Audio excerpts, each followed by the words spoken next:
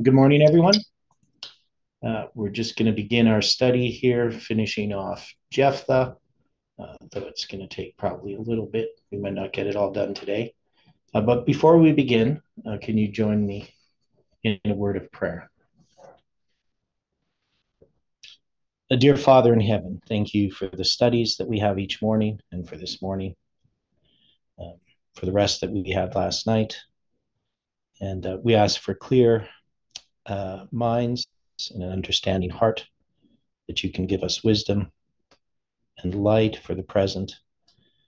We ask for your strength and power in our lives, and we pray for those who are searching for truth, um, those that, um, for various reasons, have, um, even though they may have rejected light or had problems in the past, that they are still searching, and we just pray uh, for those that are on the periphery of this movement and even those within it who have had their doubts and struggles.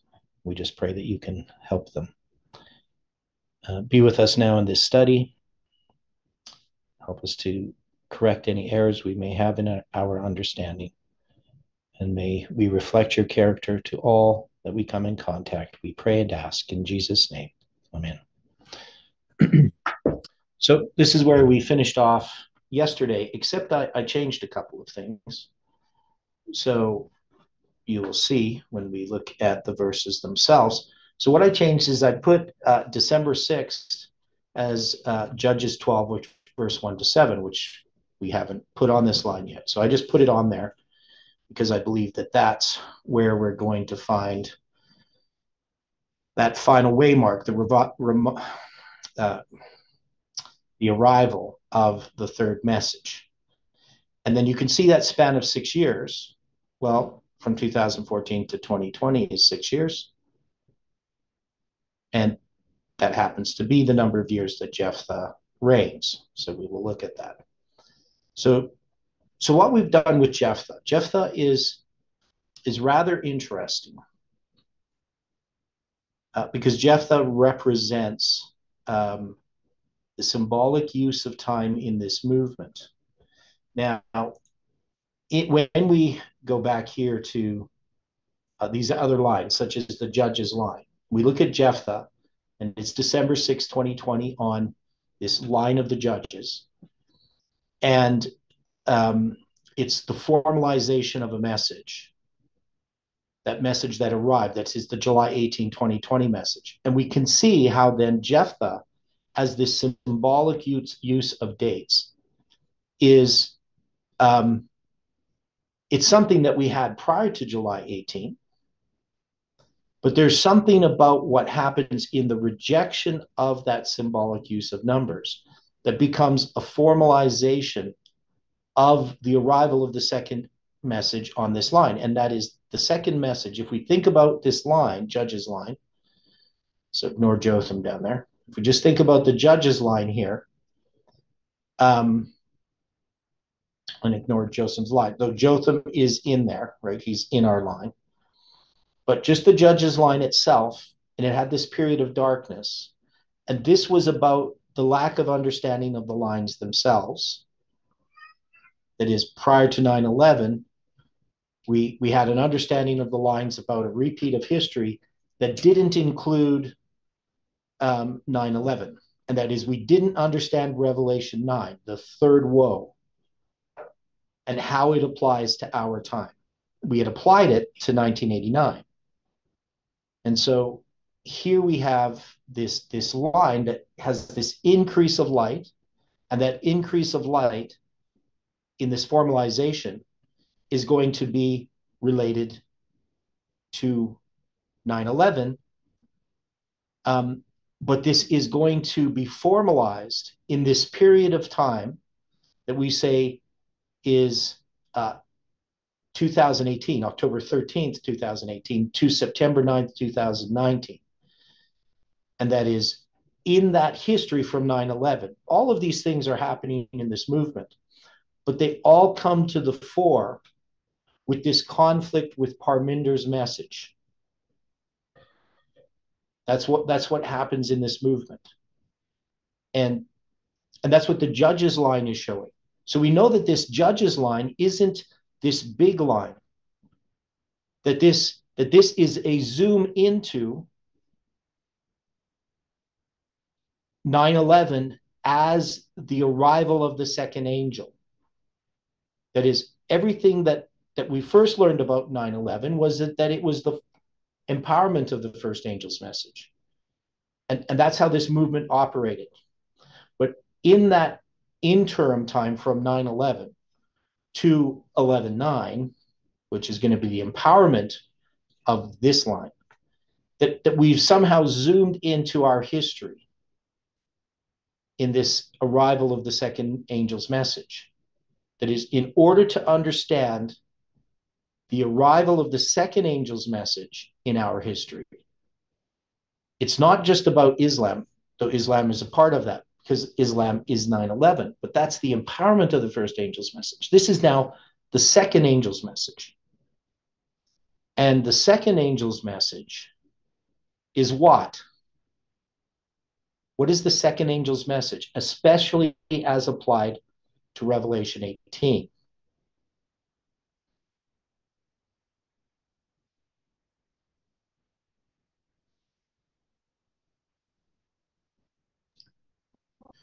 Fourth angel joins with the third, joins with all the angels, really, and proclaims the fall, fall of Babylon. It's the call to come out of Babylon. Right. Yeah. And the reasons why. Yeah. So so Babylon has fallen has fallen. That's the second angel's message. That's in Millerite history. We have this fall of Babylon.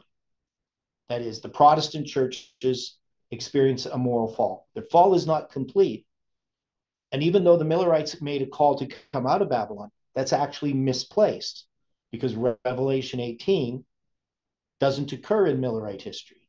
That's in our history. That's the Sunday law. And White sees that off in the future. But we mark Revelation 18 at 9 11. And that's true. That is, 9 11 is the Sunday law. But when we apply Revelation 18 to 9 11 as the empowerment of the first angel, we are making a similar error that the Millerites did when they applied the close of probation to August 11th, 1840, or even the arrival of the seventh angel, right? Because the seventh angel doesn't arrive until October 22, 1844. So they think the end of the second World is the is the end of the sixth trumpet. And so that the seventh trumpet has begun to sound on August 11th, 1840, but it hasn't. It doesn't begin to sound until October 22, 1844. And so, even within the Millerites themselves, when they look at the line, even though they don't understand the lines in the way that we do, but when they look at where they are, they're not clear of where they are. That is, they think they're farther along the line of prophecy than they actually are. And this movement has done the same things, right? That is, we thought things are closer than they really were. Now, so when we look at this second angel, then, now, and we place it here in this judge's line as July 18, 2020. Well, we know we can't possibly be on the line that Jeff had been talking about. That is, this judge's line is not the line of uh, 9-11 midnight midnight cry sunday law right? So this is this is a zoom into a, a waymark on that line but it's on that line when 9-11 is the arrival of the second angel not when 9-11 is the empowerment of the first angel. It's the same event but those two are tied together.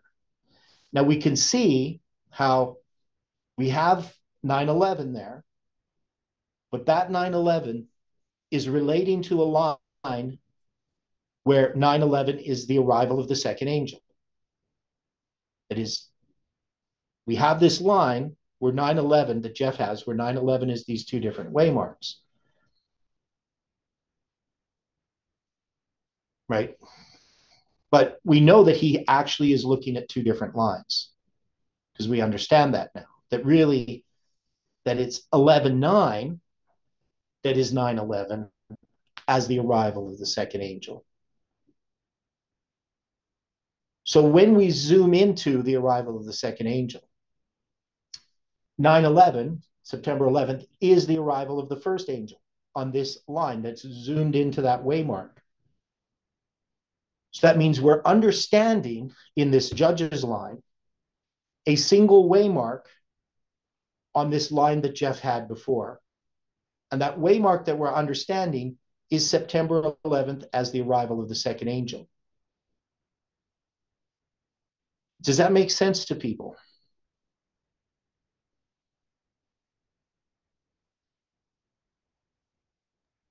Yes. And that means we're not to midnight on that line that Jeff has always had. So when you go back to, you know, I say always, really, it's the line that we have in 2016. We have 9 11 as the first day of the first month. We have we have midnight, which is the fifth day of the fourth month. And, and we believe that we were approaching midnight, which we were. We just got confused about the waymarks that we were in, thinking that no, we've arrived at midnight, or we've arrived at midnight, or we've arrived at midnight. We kept thinking that we were arriving at midnight, or that this waymark that we were looking at right in front of us, like November 9th, that would be midnight, or midnight for some group, or something like that. So, so now we know when we look at this judge's line, we know what it is and we know where we are. We're not to midnight on the line of Jeff. So we don't have midnight, this Raphia on Jeff's line, and obviously Panium on Jeff's line, and the Sunday law on Jeff's line. Those things have not happened. All that we've done is the second angel has arrived. Now, that might be a bit discouraging in the sense that, well, we thought we were a lot farther along than we were we should be able to see by the condition of this movement and what has happened historically with this movement that all of these things were necessary for us to learn some things. And we may not like to have to learn the things that we're learning. Because, you know, we're Seventh day Adventists. Seventh day Adventists have been around for a long time looking for the second coming of Christ.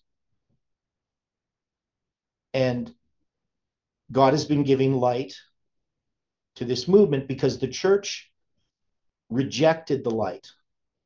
Right? In this repeat of history, the Seventh day Adventist church was no different than the Protestants in the Protestants' reaction to uh, Miller's message.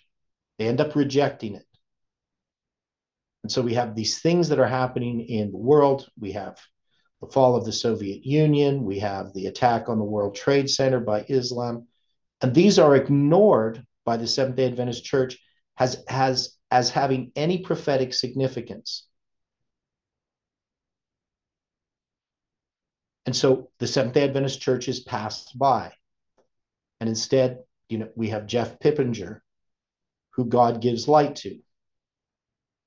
And um, so we have this this movement that rises and, and quite gradually.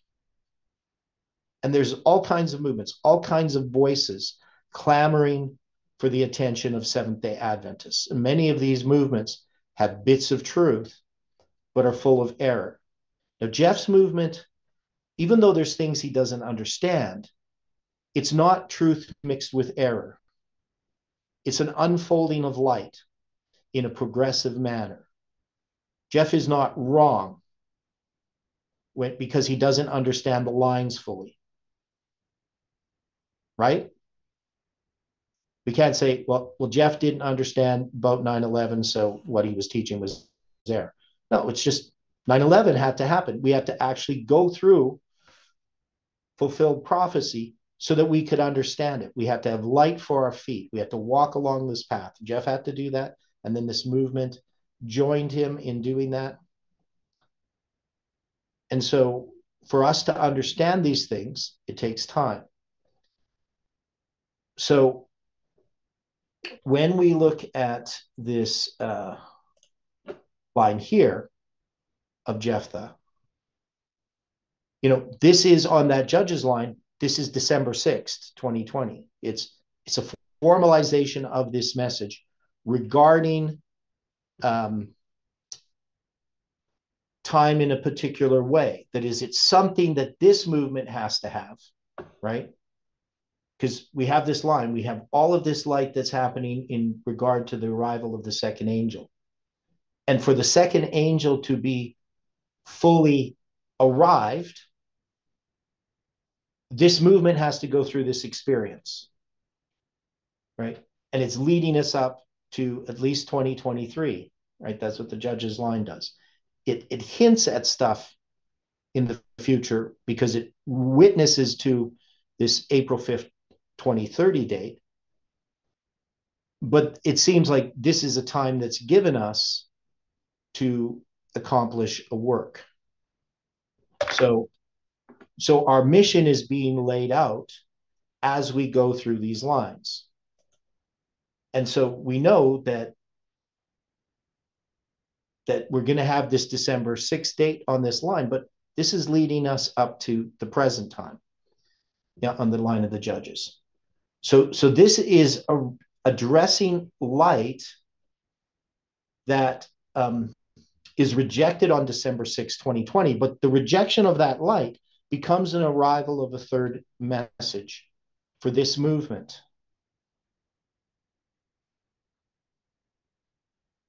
Now, now, how can that be? How can the rejection of all of this light that comes from Jephthah, how can that be the arrival of a third message?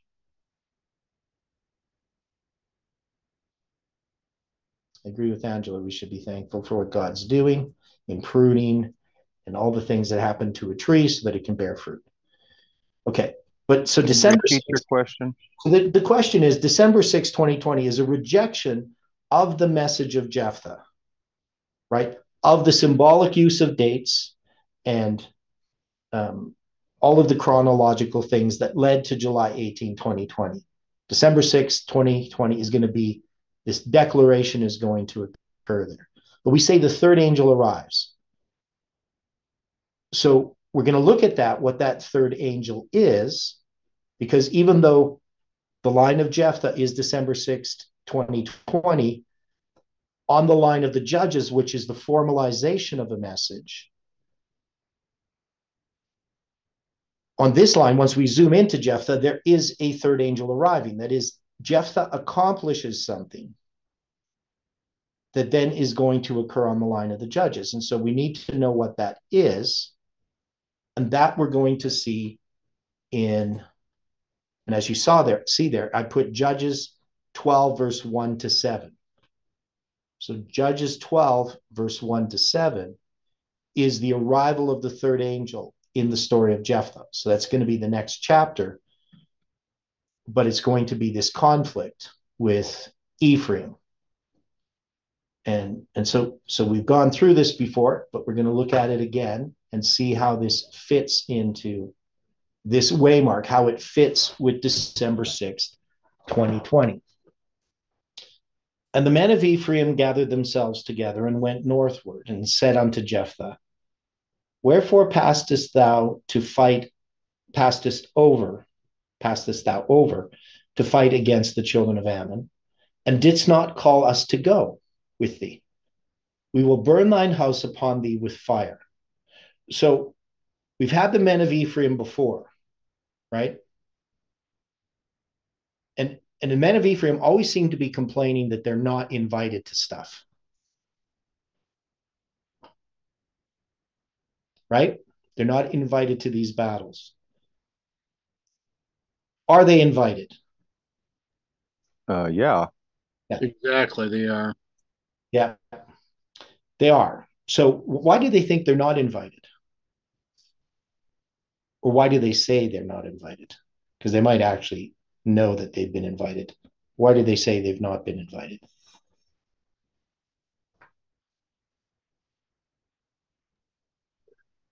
They were seeking more of their own glory rather than the glory that would be to God.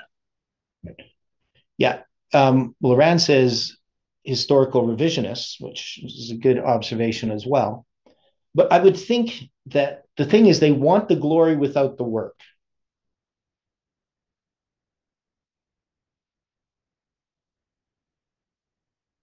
Somebody somebody accomplishes something and they're like, well, well, you can't do that without me. You know, you should have included me.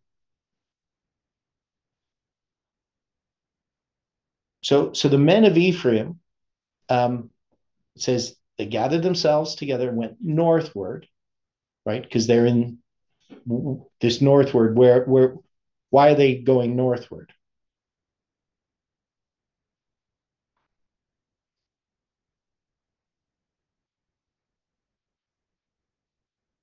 Because that, that's where the battle is, right? Yes. Okay. And Jephthah said unto them, I and my people were at great strife with the children of Ammon, and when I called you, ye delivered me not out of their hands. Okay. He did call them, right? And when I saw that ye delivered me not, I put my life in my hands and passed over against the children of Ammon. And the Lord delivered them into my hand. Wherefore then are ye come up unto me this day to fight against me? Now, I really think that this applies to uh, the conflicts that that I personally had with FFA.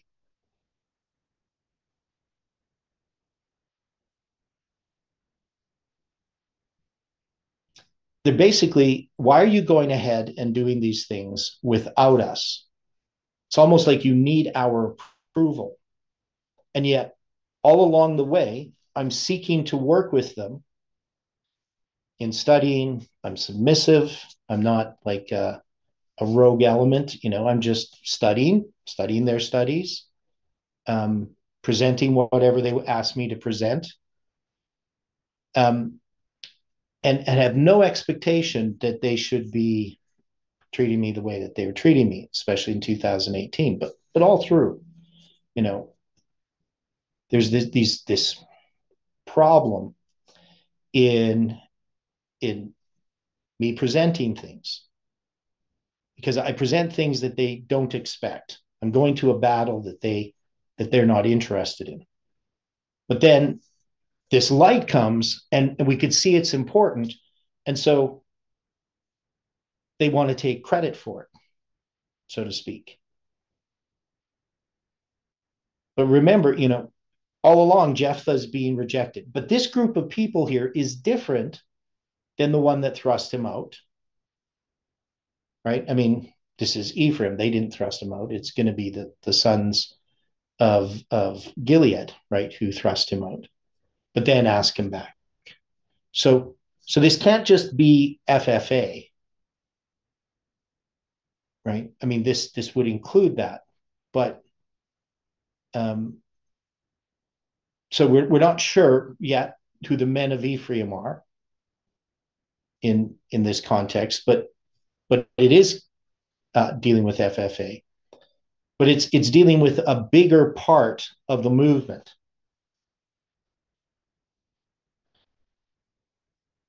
Okay. So then he says, uh, then Jephthah gathered together all the men of Gilead and fought with Ephraim. So we saw this same type of thing with uh, Gideon, right? But now we're going to actually have a battle. So, what was the first time that Ephraim complained?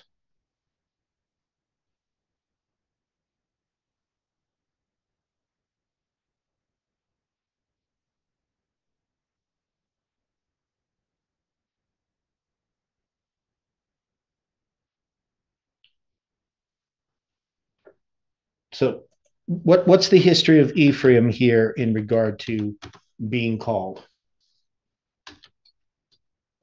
When you go back to Judges 8 1, it says, And the men of Ephraim said unto him, Why hast thou served us thus that thou callest us not when thou wentest to fight with with with with the Midianites? And they did chide with him sharply.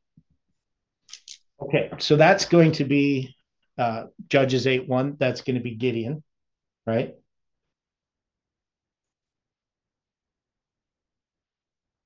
Right, in the story of Gideon. Yes, it is. Okay. Um, when when else do we see Ephraim?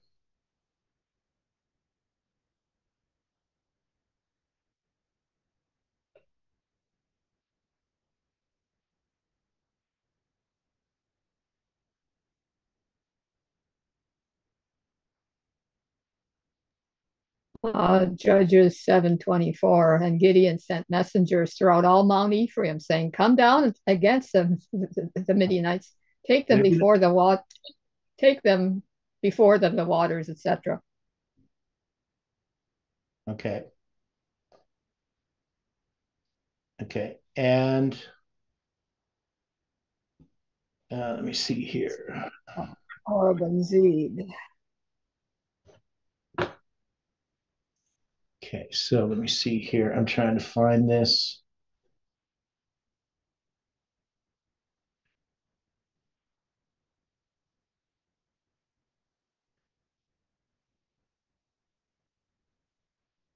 Um,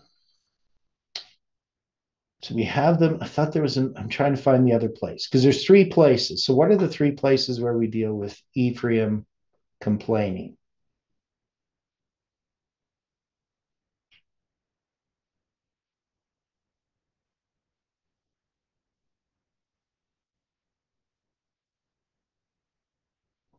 Uh,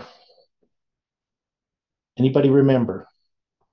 Because we got we got there in the story of Gideon.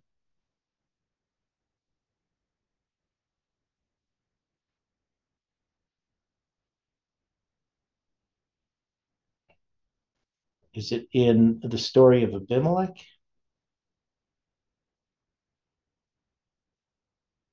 Um, I can't remember. Somebody's going to have to figure that out. Because there's three times. But anyway, when we go here, um, in this conflict, they're going to have this. Um, uh, okay, so Jephthah gathered together all the men of Gilead and fought with Ephraim, and the men of Gilead smote Ephraim because they said, "You Gileadites are fugitives of Ephraim among the Ephraimites and among the Manassites." And the Gileadites took the passages of Jordan before the Ephraimites. And it was so that when those Ephraimites which were escaped said, Let me go over, that the men of Gilead said unto him, Art thou an Ephraimite? And if he said, Nay, then say they unto him, Say now Shibboleth. And he said, Sibboleth, for he could not frame to pronounce it right. Then they took him and slew him at the passages of Jordan, and there fell at that time of the Ephraimites 42, that 40 and 2,000.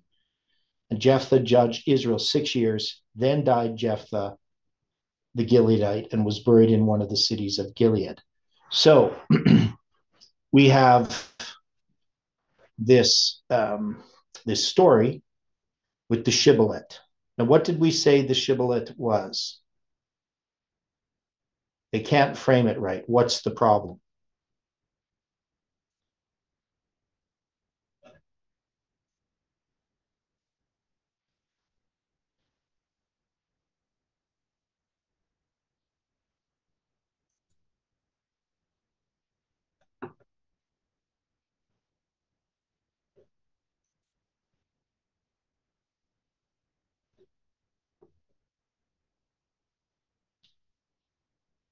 Okay, predictions. So is that so the problem is predictions. What do you mean by that, Iran?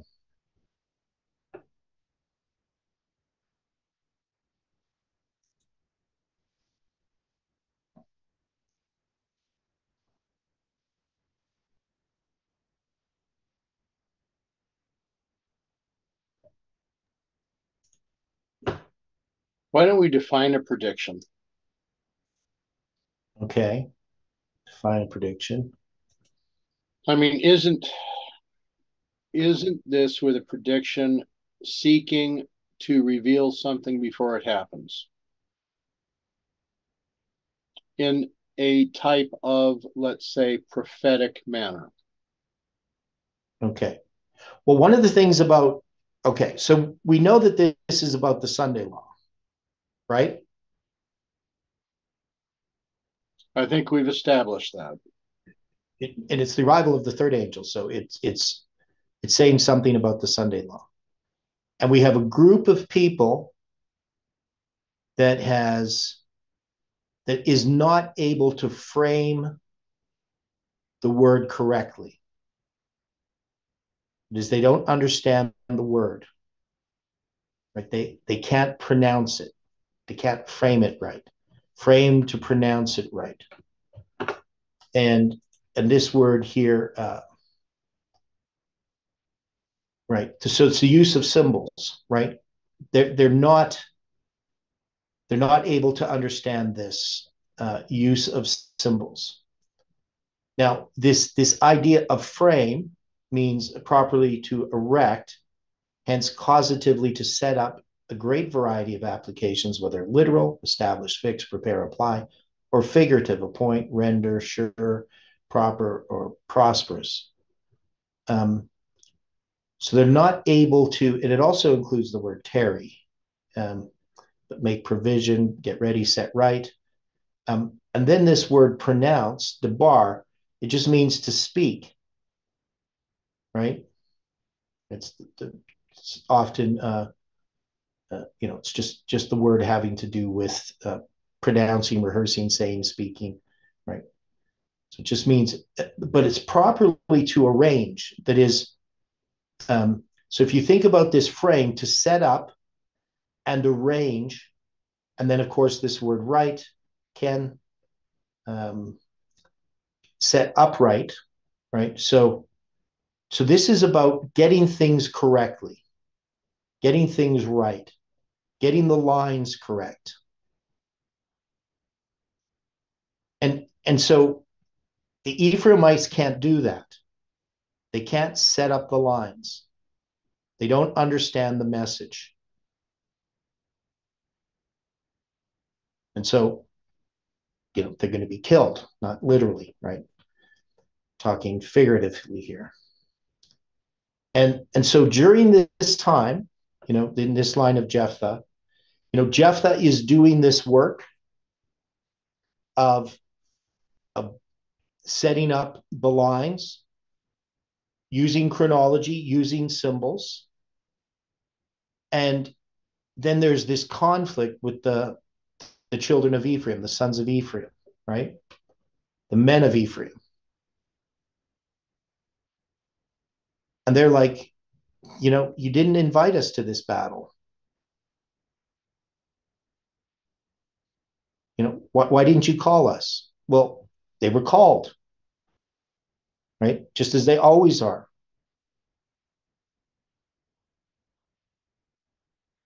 So, so they don't understand this message. Now, this is going to lead us to Judges 12 7, right? And Judges 12 7 is significant because it's 12 7. So 12 7 is on the 1843 chart. 12 times 7 is 84. It's a symbol of um, July 21st. Right? It's got all of these, it's basically the midst of the week, right? As a symbol. Relates to the Metonic cycle, 12 uh, common years and, and seven embolismic years make up the 19 year of the Metonic cycle. It is all this this this stuff dealing with prophecy. And you could also see Judges 12:6. You got the 126. And that's where they can't frame to pronounce it right. That's where it says, you know, say unto them, shibboleth, and they can't. They just say sibboleth. So so this becomes so we need to be able to understand these patterns if we're going to make predictions. Now, what I have said, whether this is correct or not, is that when we look at December 6, 2020, there's two things about it. One is it's a reiteration of Parminder's errors in their rejection of symbols. But we also know that many people in this movement exist who, who have the same sentiments that uh, they agree with the December 6, 2020 declaration, but they're still in the movement. Now, why is that? Why, why did they not go with them? Why are they still here? Okay, so Iran's asking a question. Is that the end of 465 days? What's this about?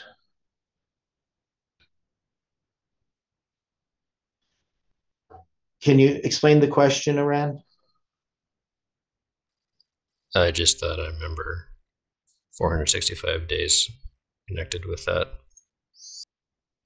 Hmm. Well, you're going to have to look into that because I don't remember Okay. days, but um, but anyway, we have the December 6, 2020 declaration. Now, they, they basically shut us out. But we say it's the arrival of the third angel's message.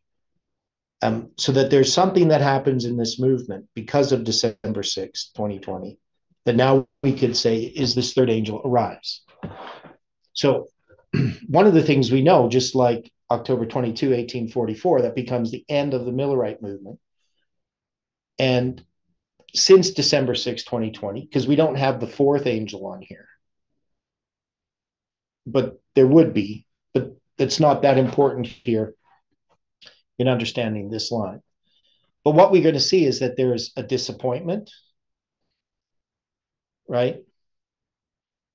Um, and this December 6th, you can also see that's 12 6,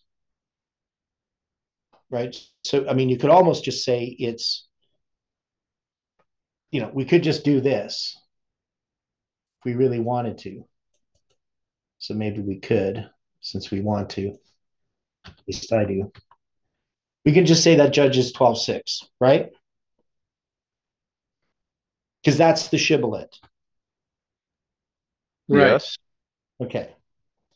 So that that division occurs between the the, the men of Ephraim and and and uh, Jephthah, right? So that's the rejection of Jephthah by the men of Ephraim. So that's December 6th. It's 12 6. But we know that there's a number of seven attached to it, right? That is 12 7.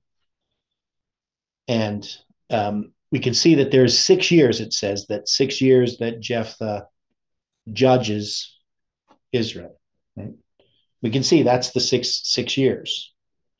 I mean, symbolically, the six years is this story of Jephthah up to this rejection. Of course, in Judges 12, that's going to be just you know he he has this period of time starting but we're just saying it's symbolically representational of this six years that we had placed on this line without considering the six years at all. So when we wrote june 22nd 2014 we weren't um, thinking okay we need to choose that because we're ending on 2020 and we need six years. We just noted after the fact that it is six years um, so what happens after December 6th is basically a formation of well the movement is now of course shattered right into these three different groups. Um, at least right because you have the american group and the canadian group and they have different interests um, for the most part even though they they work together and had uh, been working together. Um, well, I guess they don't really. When did they start actually having meetings together? I'm trying to remember that was. That's going to be after December 6th. because before we were just looking at the meetings coming out of FFA. So, so it's going to be sometime after that. I don't remember how long. But you know, the Canadian group, you know, starts doing its meetings on Sabbath, and then the American group, and then they would just decide to work together, switch Sabbaths. But but there's definitely a different characteristic. Yeah. So uh, re- rejecting Jephthah. So Angela's making this note here um, about Jephthah. That is, his name means he will open. Now, of course, this is the opening of the eyes, but but what else is opened up in this history from June te- June 22nd, 2014 to December 6, 2020? W- what is opened up? Because yeah, it's about opening his eyes. He will open, but I think it's more about opening up a seal. Okay, and then Iran says the 465 started August 29th, 2019 parallel to the 46500 that ended on February 27th, 2016. So that has to do um, uh, February 27th, 2016. That's going to be um, dealing with Parminder, right? Parminder's ordination. Is that February 27th, 2016? Brad? Yes. Okay.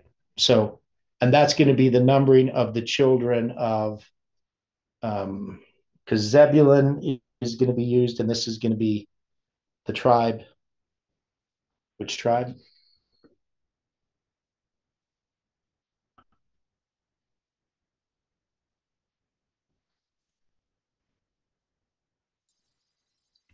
I'm not remembering. It was from one of your charts.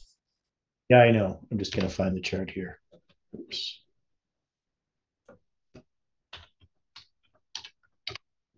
It's we got Zebulun that was um it's going to be Naphtali, wasn't it? No, it's not, not Naphtali. It's not that one. So here, I'll just put the number in. I'll search that. So the number is It's, it's right. It's right there in the bottom. oh, there it is. Yeah, yeah. So this is going to be yeah. This is the one I was thinking of. Parminder's ordination, forty six thousand five hundred days, and then uh, we have the twelve seventy nine to Parminder's rebellion, and then we have uh, August 29th, 2019, and then there's 465 days. So it it uh, relates to Parminder, right? That was the idea. Okay, thanks for that. Um, so the idea here is that we can see the connection between December 6, 2020 and Parmi- Parminder's rebellion. Right? This 465 days, which is a, is which 40, 46,500 from the last day of the General Conference in 1888, which of course is going to relate to Parminder's prediction regarding the Sunday law connected to 1888 to 2014. That's going to start this line, right? And then uh, then we're going to have December 6, 2020, and that's going to end this line.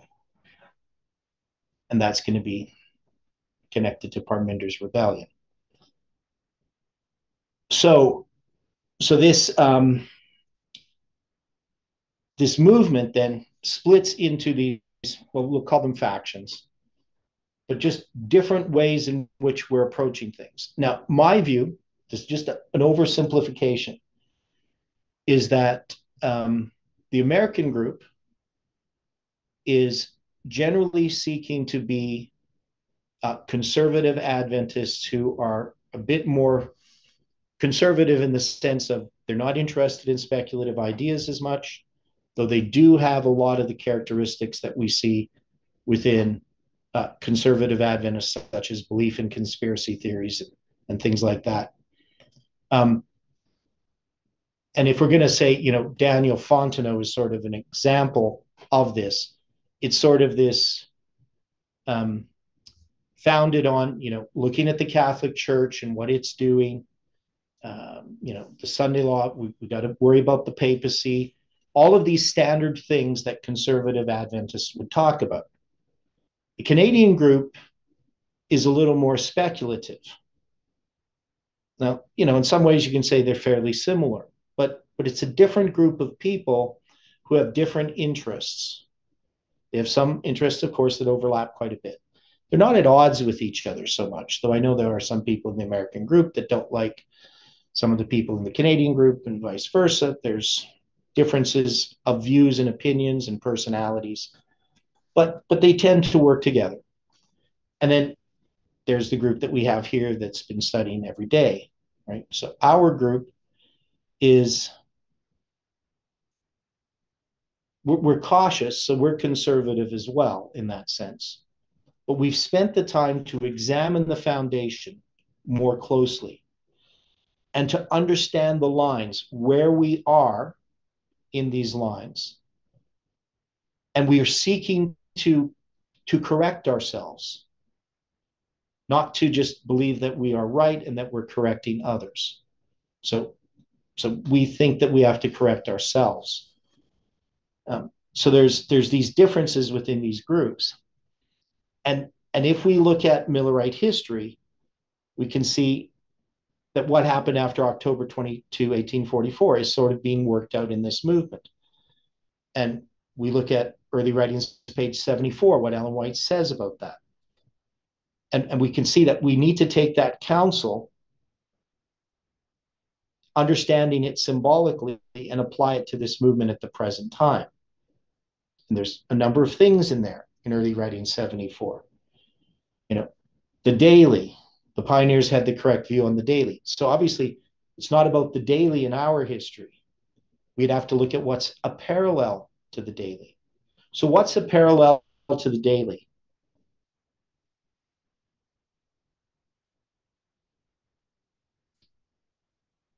when we studied, when we examined the foundation, we actually made this quite clear what the parallel to the daily was. So the pioneer view of the daily was what?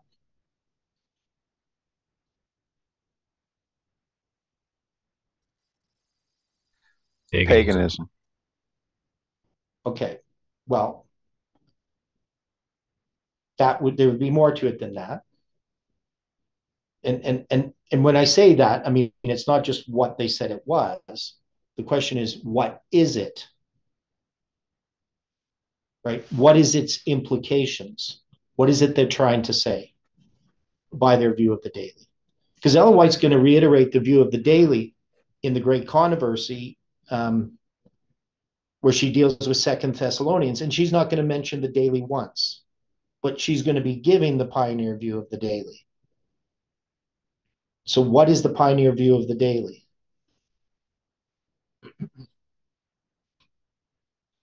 What does it relate to? Well, um,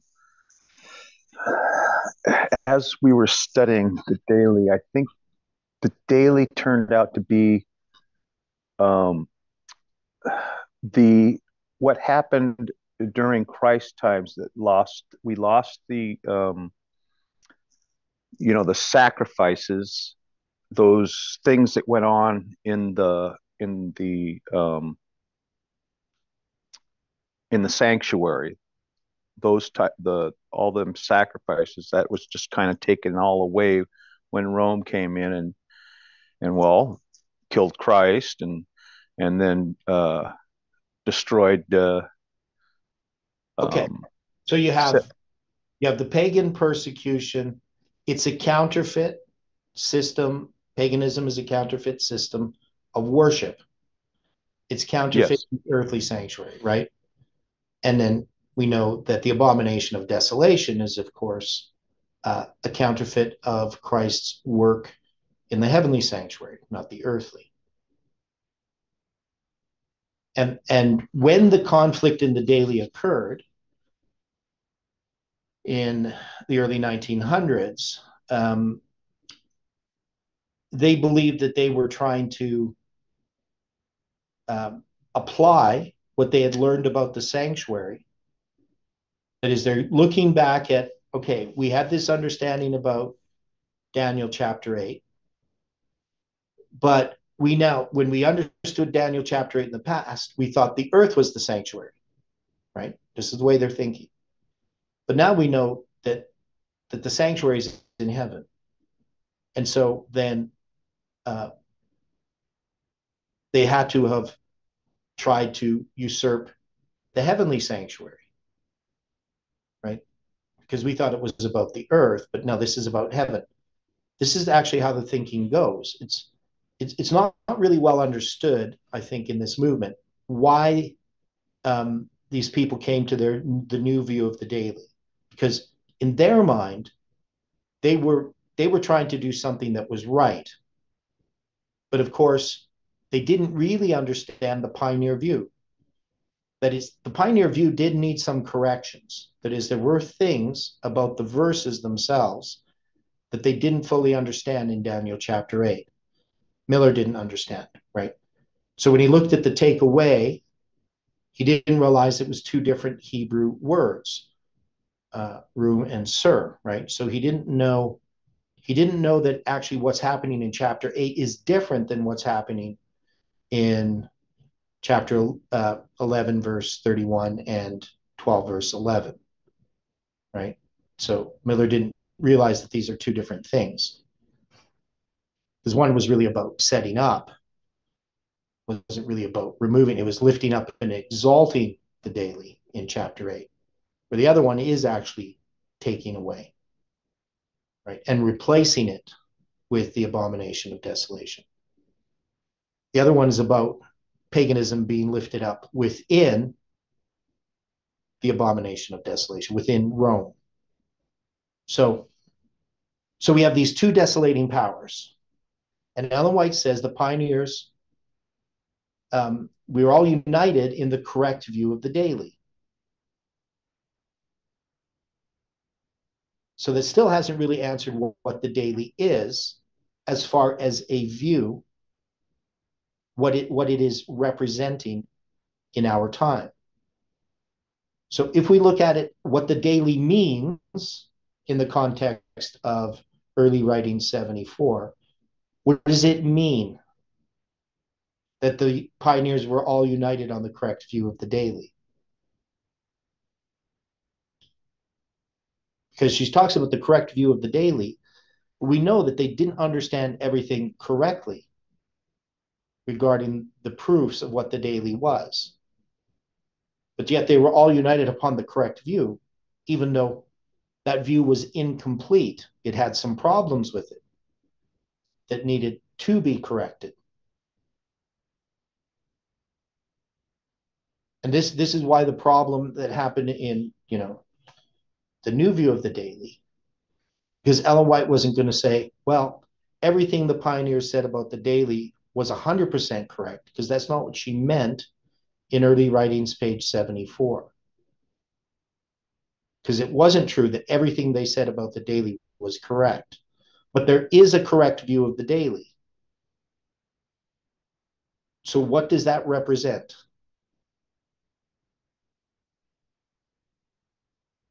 In our time.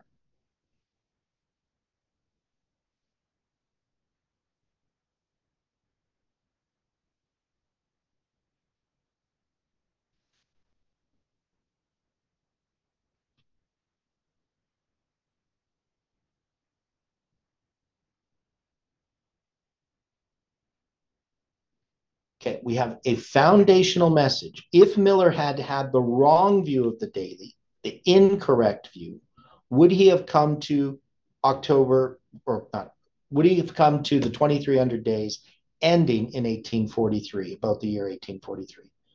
Would he have come to that conclusion with uh, an incorrect view of the daily? I don't think so.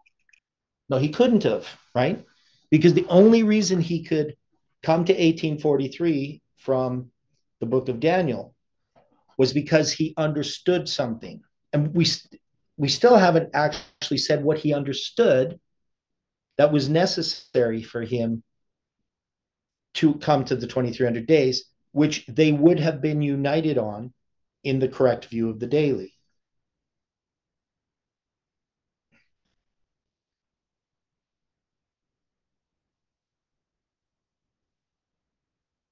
What's correct about the view of the daily that the pioneers had that leads to the understanding of the 2300 days. That if they didn't have, they wouldn't have come to the understanding of the 2300 days. Uh, I'm not sure what you're what you're asking, but could it have Okay. been Rome? No. So it has to do with the start of the 2300 days. If Miller had understood that the daily was a Antiochus Epiphanes,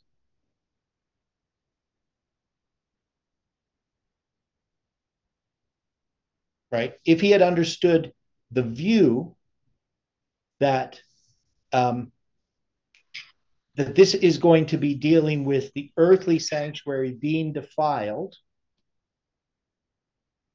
would he have started the 2300 days in 457 BC?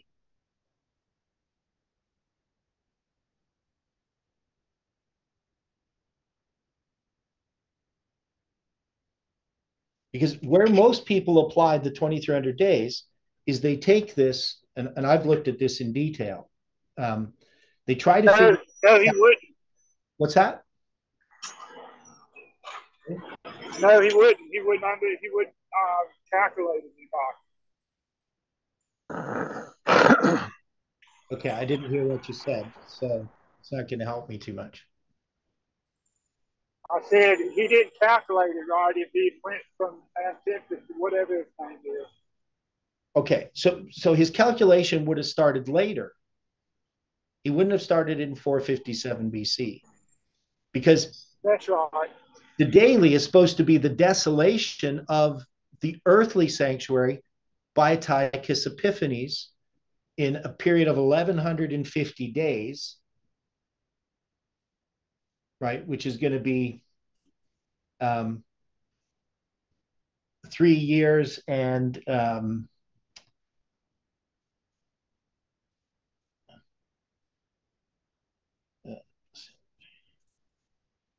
three years and about 50, 54 days. Right. So three years and 54 days that um, the temple is desecrated before it's going to be cleansed. Right. So Antiochus Epiphanes defiles the temple. Right. So the new view of the daily is well, this is about the heavenly sanctuary being defiled. Right and it's going to be done by the abomination of desolation, right? So instead of the earthly sanctuary being defiled by Antiochus Epiphanes, we got this 2300 years that the heavenly sanctuary is defiled. Well, if that's the case, would you have started in 457 BC before Christ's ministry in the heavenly sanctuary began? You wouldn't do that, would you?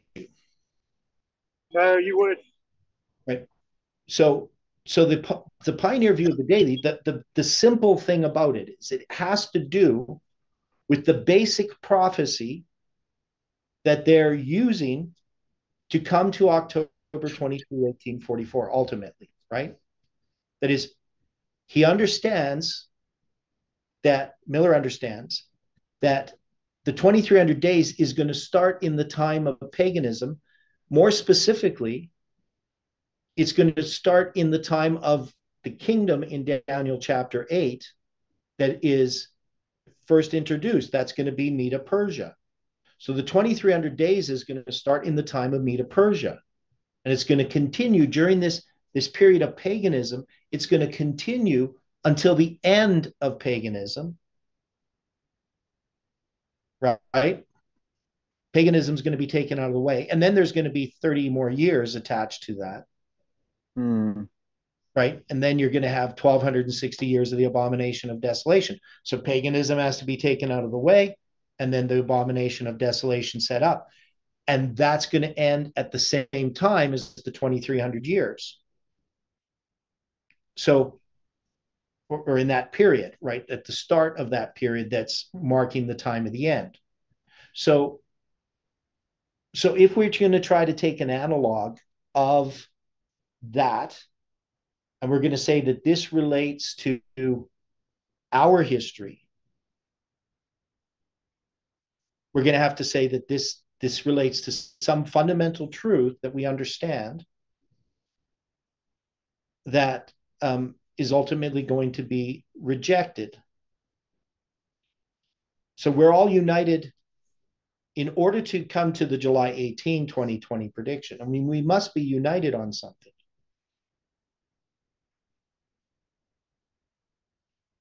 So on December 6, 2020, the arrival of the third angel's message here, um, that is going to be a rejection of that message. So what's the analog to the date, the correct view of the daily?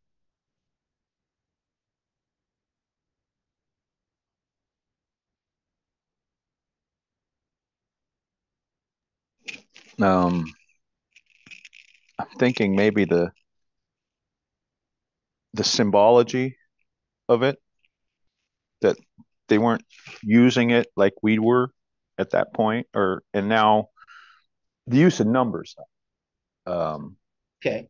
Well the symbolic use of dates but but there, there's got to be something more to it than that because i mean that's what this whole line is about is the symbolic use of dates and numbers. It needs to be more fundamental than that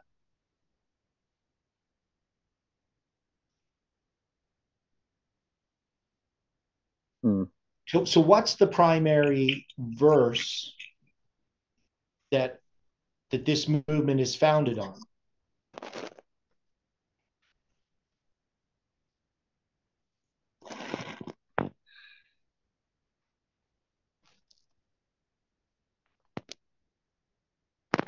Daniel 11, verse 40 to 45. yes Okay. So this is about the Sunday law. Now, when we look at it, it's really about the lines, right? yes. That is, this movement, when Jeff starts looking at Daniel 11, verse 40 to 45, he starts to understand line upon line. Because he can, yes. he can have two times of the ends 1798 and 1989 He can see them in that verse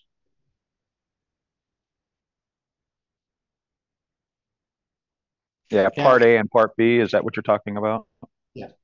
So when we look at what the analysis that Odilio has done and the analysis that Colin has done, and some people will sometimes think this is sort of a an unfair perspective or view. Um, but the thing that I th- see them missing is the overall understanding of the lines. That is, they've rejected some fundamental aspects of the lines that united us at one point, but have been set aside.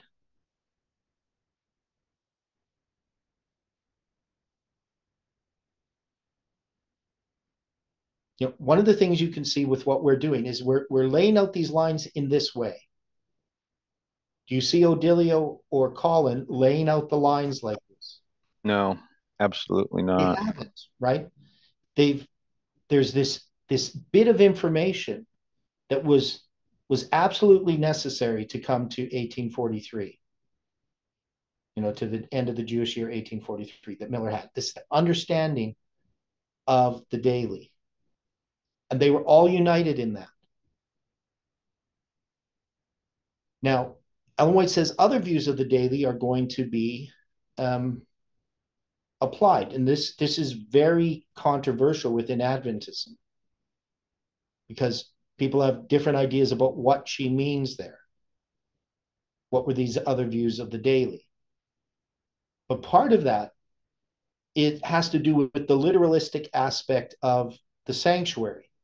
And, and, and you can see if you have this literalistic view of the daily, that's that's what's happening in, in 1850. That's why you have people going to Old Jerusalem. Part of this understanding of the daily had to do with going back to the Antiochus Epiphanes view, not necessarily literally, but the idea that the Jews themselves have to be restored, right? So that that's part of what's happening there. So here, when we're looking at this, we're we're in the present time, we're losing sight of these lines because these lines guide us. Now, one of the things that happened in one of the conflicts that I had with some people from the Canadian group had to do with this idea that um, that when I was laying out the lines, they were saying that all that matters is the third angel's message, and of course, that would just be a rejection of the first and second angel's message. If you said all that matters is the third angel's message, because you can't have a third without a first and a second. But then they compared me to Tabo, saying that, well, Tabo said, you know, we have to believe the lines, right? And, and they, they made an analogy with him and the lines and me and chronology or something like that. But we need a correct understanding of the lines. Tabo wasn't teaching a correct understanding of the lines because he was teaching Parminder's understanding of the lines. It was the new view of the lines. And this movement has been affected by this new view of the lines, just like the new view of the daily. And there's different new views, right? In Millerite history, there's there's the view that is sort of literalistic, and then you get the spiritualistic views that happen. So you're going to have uh, all kinds of different views that are happening with time setting within the Adventist groups. Okay. And we see that happening here. So in our history, we had to go back to the foundation, see that it's laid correctly, and then we've spent, you know, this is number 312 of understanding the lines. And we're starting to get to understand them.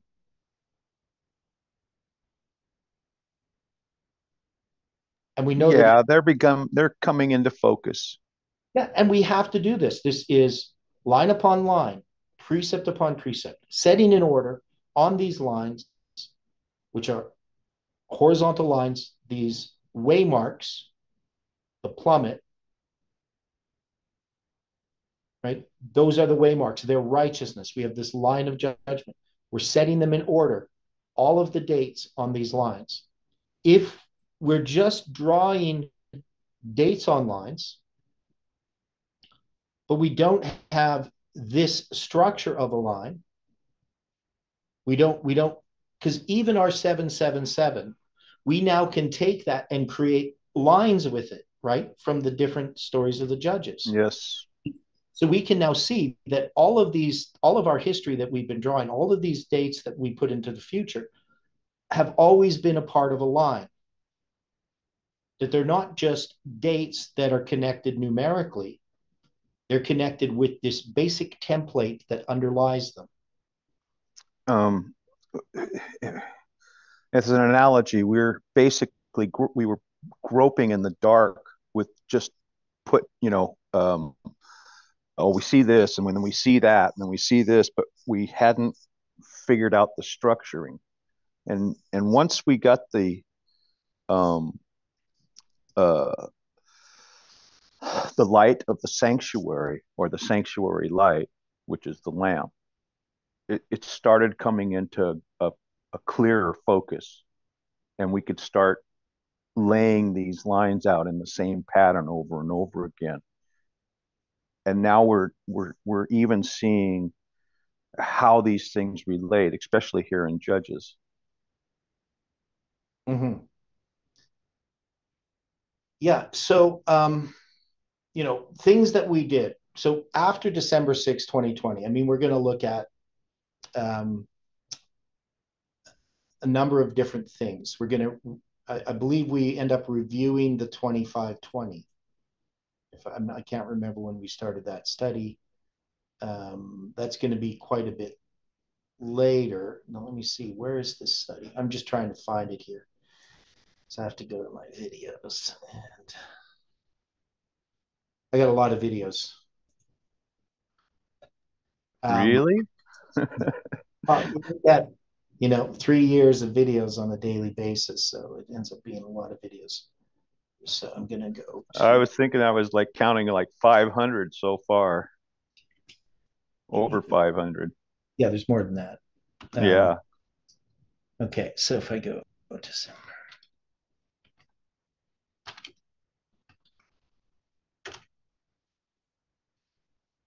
Okay, we did Ezekiel. That's what we're gonna. We were doing Ezekiel, Ezekiel at the time that we had that division in the movement. Right. That was that was our main study, and then we're gonna do Ezekiel, and then we're gonna do some uh, review of the 2520, and then we're gonna start examining the foundation. There's some other things in there, but but the point is, everything that we've been doing with this arrival of the first message has been what Ellen White and James White were told to do after October 22, 1844. That is, republish the work of the pioneers and, and study the light that has come from their experience, their disappointment. And from July 18th to December 6th, the movement overall isn't interested in that right? They're just going to reject July 18th. But when they shut us out on December 6th, Judges 12 6, and we have this test, this shibboleth, that this is, is understanding something about the Sunday law.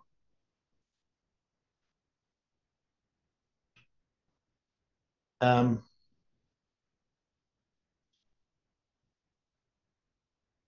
right? So, so there's these predictions being made. You can now say just speculations or suggestions, however you want to put it. But we know that these are not correct. So, who are the Ephraimites that can't frame to pronounce the, the word correctly? What does that mean?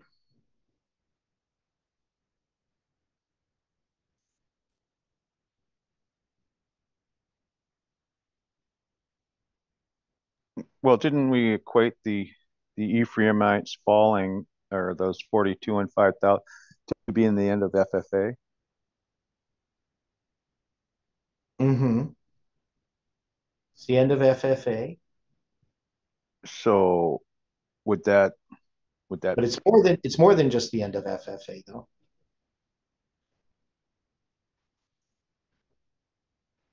Yeah, it's it's the end of FFA and then um then there's another movement that comes out of that. Okay. Because they had they mm-hmm. had some understanding of of what the others were rejecting. July 18th. Yeah. Okay. So the 42,000 represents what do they represent? Well, we know it's a doubling of 21 uh, it represents the 1260 to 42 months, right? Right. So, so we're, we're connecting it here to December 6, 2020. So that's um, the 1260s right there, the 126. Um, we have uh, verse let me see here. Um, I'm just looking at it. Um, what I'd said before. Uh, what else was there? 21 represents midnight. Um, and we also connected this shibboleth with um, the flood, right? Because because when they're when when you say shibboleth, the word shibboleth means a stream, also an irregrain, a branch, right? But they say sibboleth, which is um, shibboleth is uh, shibboleth, sibboleth. So we got shibboleth so let me get this correct, is a flowing stream. and Sibboleth is an ear of grain or wheat. So they are related, right? Symbolically. No, but literally in the meanings of the words, they're related. Even though one's written with a samekh and the other's with a shin. Right. Now I think they write it here with the shin in order to uh, to just show the pronunciation difference, because in Hebrew at that time they wouldn't have had the vowel pointings, they wouldn't have the dot above the shin. But um, but anyway, so but these are related. One's an ear of grain, the other one's a flowing stream. They're related words. Um, and we're saying that this represents the Sunday law. The flowing stream is the Sunday law. I'm just trying to switch this here.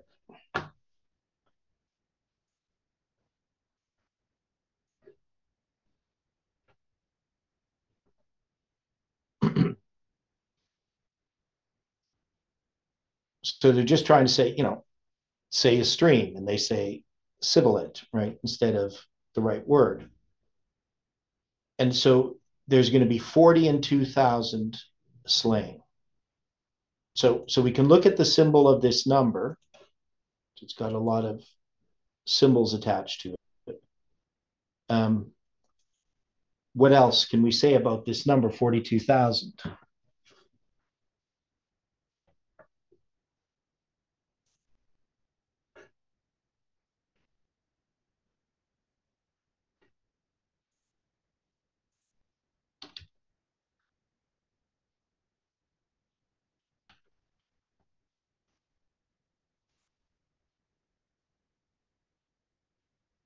Anything that we can say about it?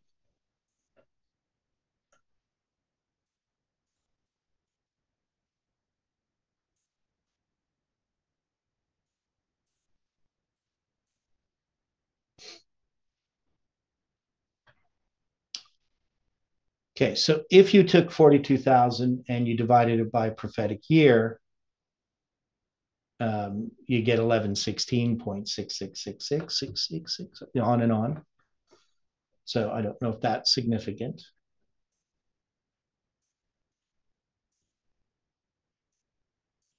If you did it by an actual Julian year, it'd be almost 11 and a half years.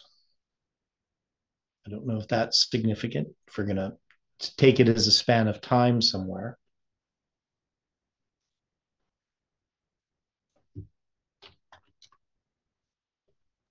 What if you divided it by a metonic cycle? Okay, so if you took um, 42,000 divided by what, 19, you're saying?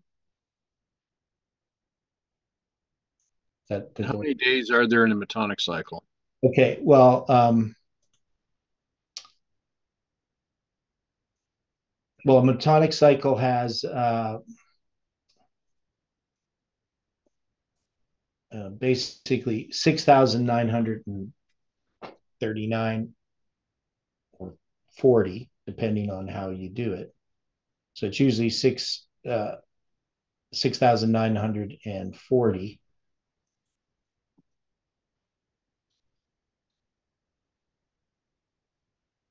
So 42,000 divided by 6940 be six years or six. So that would represent the six years. Is that what you're trying to say?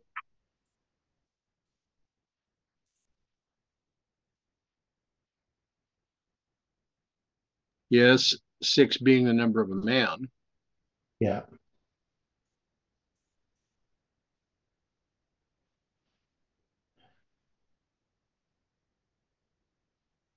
Um,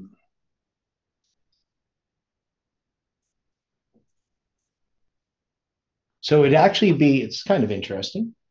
It'd be exactly six metonic cycles in 360 days. Okay. That's pretty interesting. Right. So six metonic cycles in 360 days. So what does that um, what does that mean?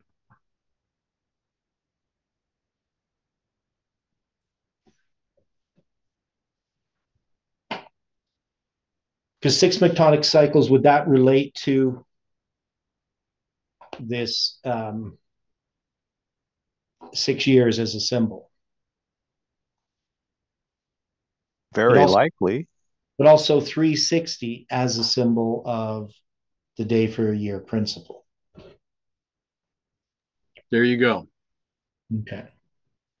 So so in this so what is what is slaying this message? Because we're not we're not making this be people being slain but this is a message. The men of ephraim is a message right? Of course people can be attached to it but it's about a message. And the message is a message that is not wanting to do the studying but wants to have the glory right?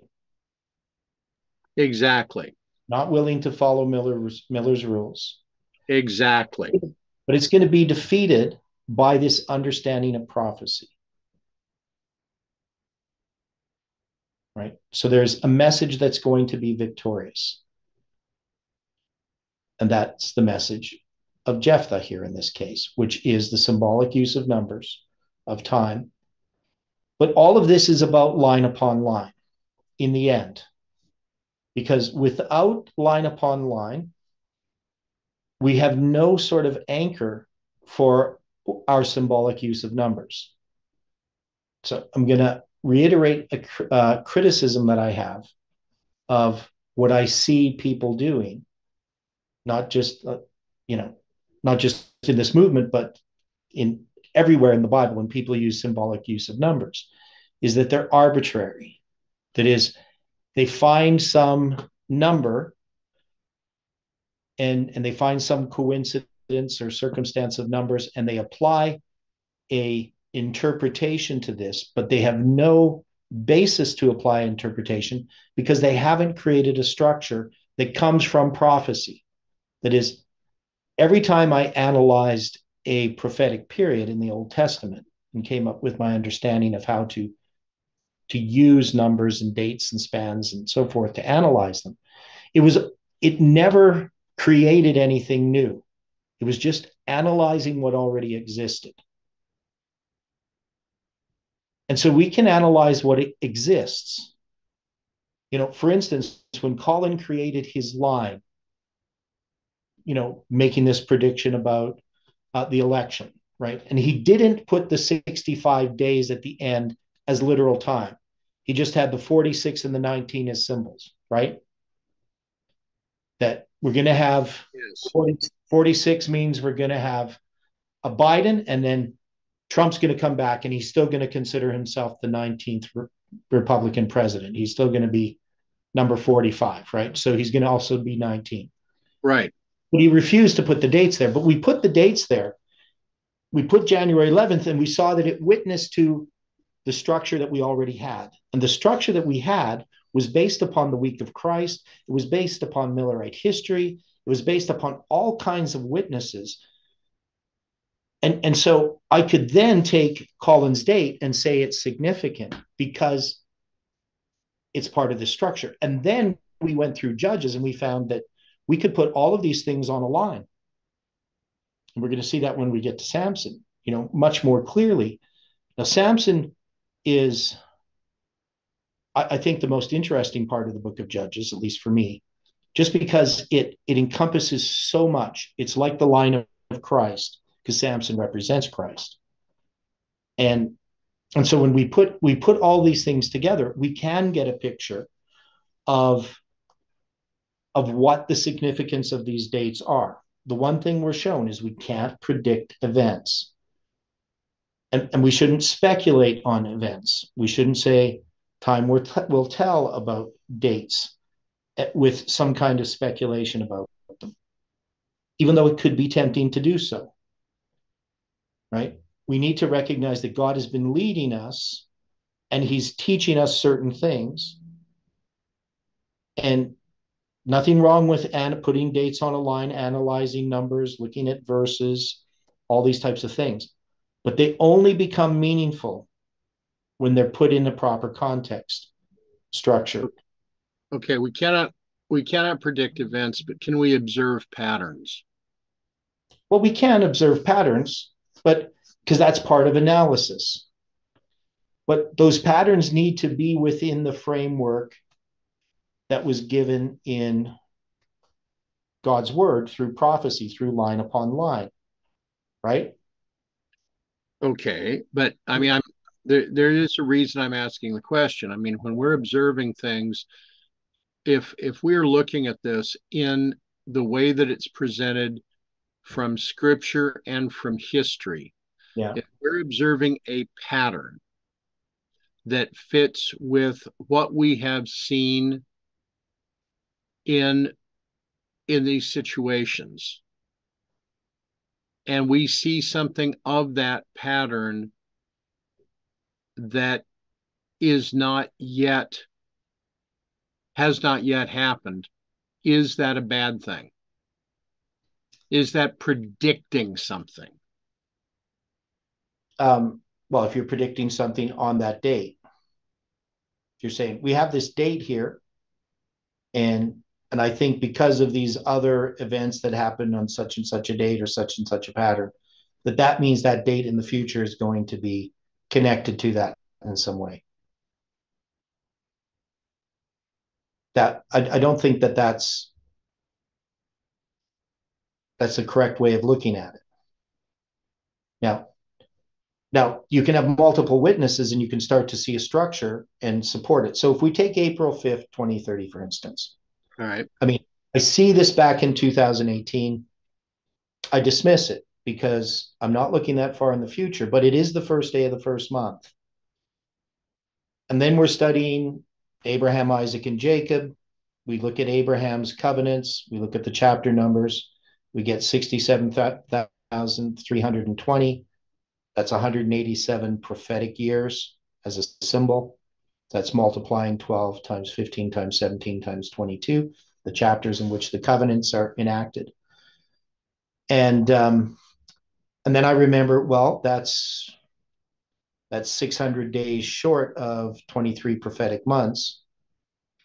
And so, you know, we look at that and we can say, oh, that 2300 prophetic months leads us also to the first day of the first month, April 5th, 2030, from the first day of the first month in 1844 and it happens to be in 186 years and also 187 prophetic years and 20 prophetic months. That being the extra 20 months is the 600 days right?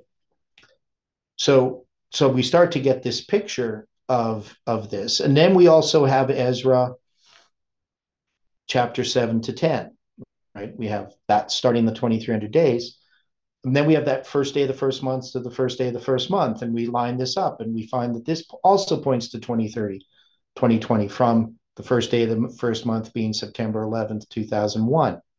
So we just keep having all of these things piled upon them. But we're still not making a prediction about April 5th, 2030. We're not saying it's going to be the Sunday law or Nashville's going to be hit by a nuclear attack or, or anything about that. What we know is that date witnesses to the dates that we already have, to what we already understand, and it it gives an answer to Colin's prediction and the dates that he has. Right? It shows that his his structure fits in with that. But we can now place it on a bigger structure, and we can see that we even have the symbolic representation from the American tax system, uh, which is um, can't remember the number, but it was uh, an application for an extension of time or further extension of time or something like that. And so, so we can see that God is giving this movement time. That's all we can know about it. Whether that time actually goes to April 5th, 2030 or not, we don't know. Yeah, that was the 2688. Um, and the 2688 relate related to um, uh, the number of days, right? From that date that we had to April 5th, 2030.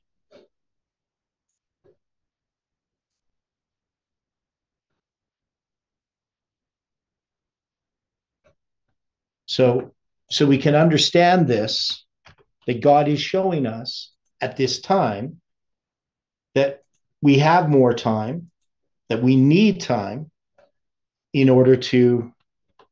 Um, that was from November. Uh, November 24. Yeah, November 24th, Thanksgiving. So it was from Thanksgiving to November 5th, 2030. That's an inclusive count, 2,688 days. And and and that of course was relating back even to the November uh, uh, 22nd, 2018, 88 or 2018 um, uh, prediction, right? So, and in all of these things that we're seeking to do, we're just trying to understand what God is showing us.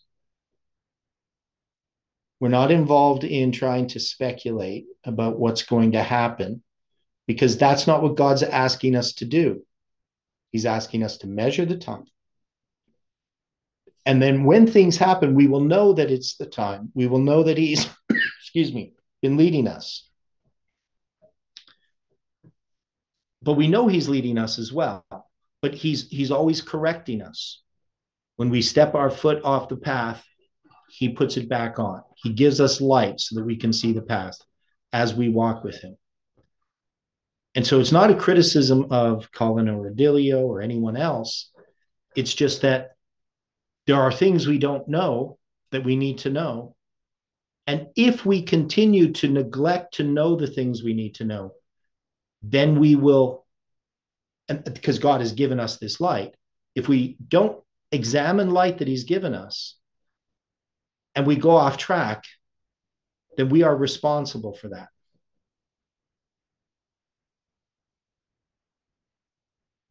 So anyway, we have to close here. So thanks for the discussion, everyone. Let's pray. Uh, dear Father in heaven, thank you for your words in Scripture, for this story of Jephthah, and uh, the way that it speaks to us at the present time. We pray for each person who is studying these things. Help us to continue to investigate your word. And uh, we pray for this movement, for all the people that we uh, know that we've uh, that we have on our hearts in this movement that we have influence with. We ask, Lord, that we can be an influence for good. Uh, be with us through the rest of this day. We pray in Jesus' name. Amen.